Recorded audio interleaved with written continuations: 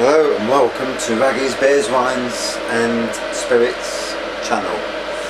Tonight, uh, as part of the homebrew side of things, I'm going to show you, and uh, I'm not in my normal place so the, the camera's not in the best place, um, how to sterilise your equipment. So, we have, let's bring it down so I can see. You see this? Yes. Here's the tube. This is for the when the draining side of things. So you've got a tube, you've got the rod, and if you're lucky enough to buy one with it already on, this is a tap. This is invaluable because if you're um, putting it into bottles, you can stop it every time, do the lid on your bottle, and then go to the next bottle. So absolutely invaluable if you can get one. Tonight I'm going to be um, decanting the wine into this barrel. Um, I've got enough wine bottles in this in my beer room at the moment and uh, uh, for the cheaper wines I thought put it in the barrel then I can do it whenever I like. Now I have already washed this barrel out so let me spin it around now for a minute. Right, there we go. Yeah, I've already washed this barrel out already and um, sterilised it from a previous brew. Now what I use is sterilising fluid, that's similar to what you use for babies things. Um, obviously hot water from the kettle.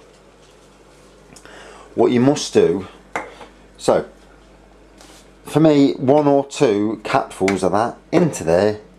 Make sure it's on the off position. Pour your hot water in. Swish it round. And uh, you'll give it a few minutes.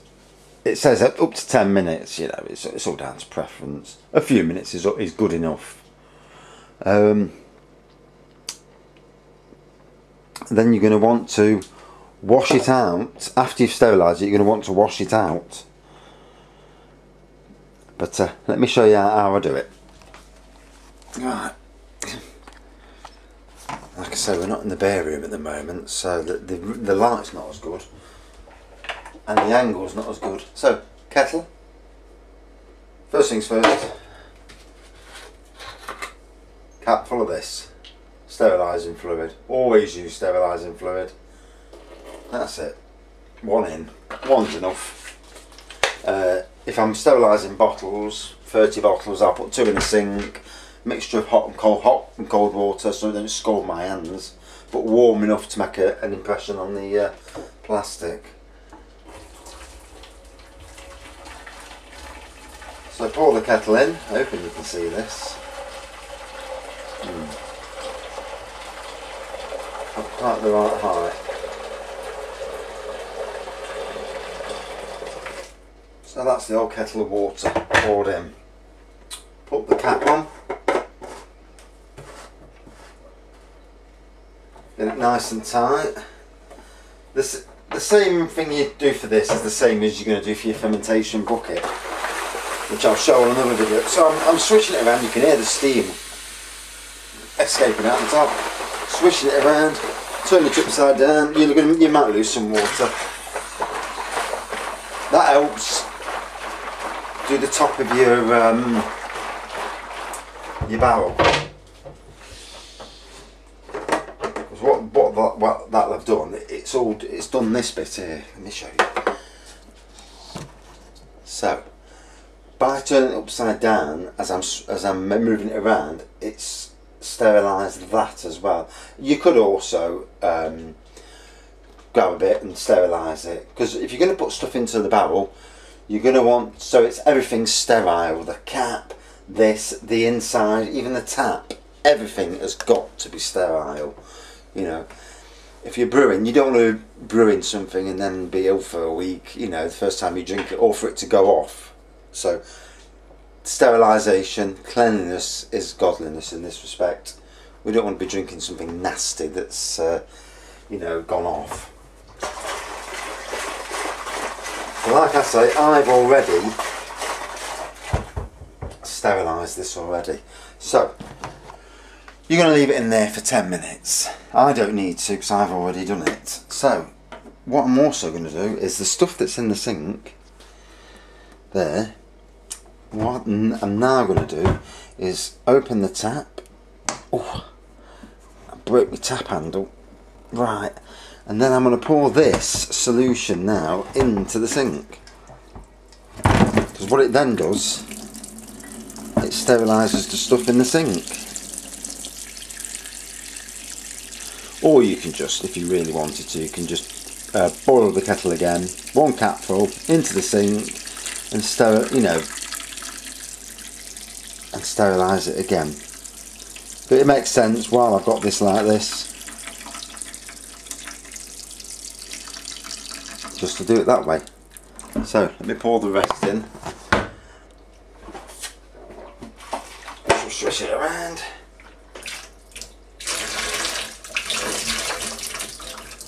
And that's it.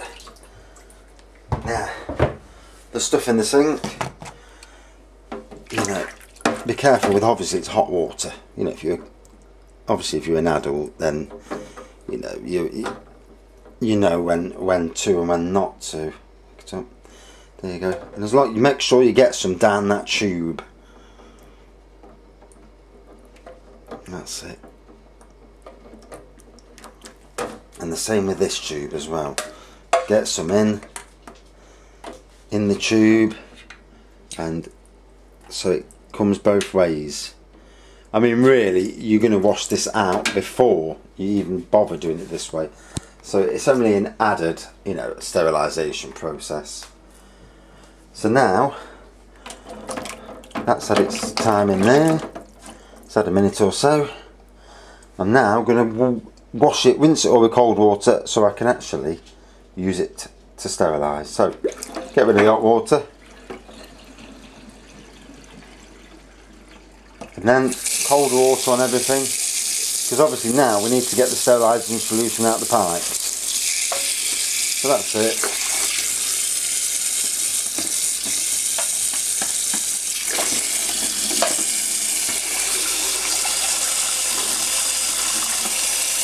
And again, same again, just wash it out.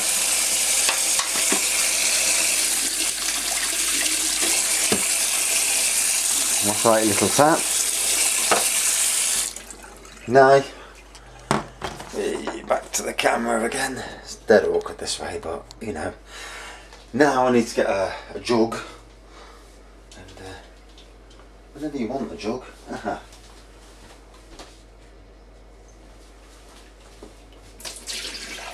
just get some cold water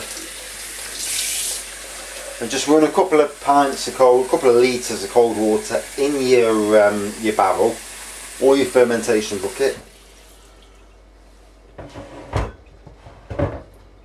So get it in.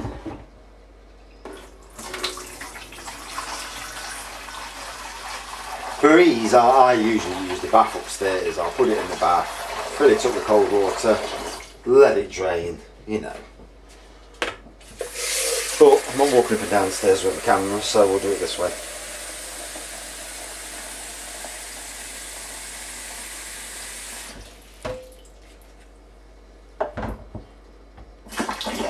Will say, if you use your barrel and you can see you can see through it and you can see dirt on the inside.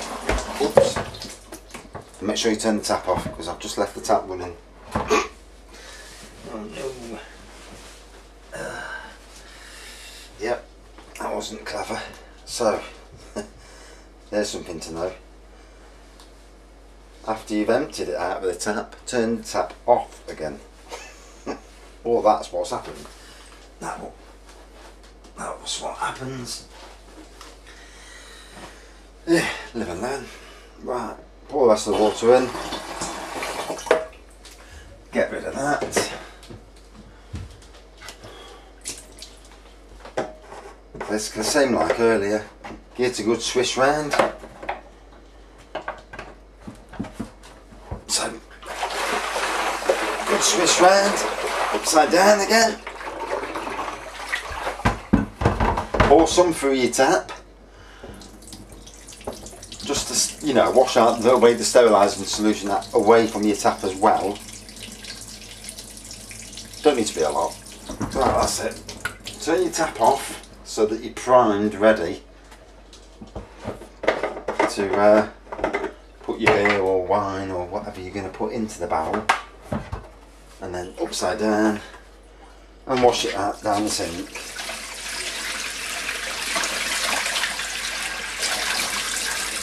And now you're ready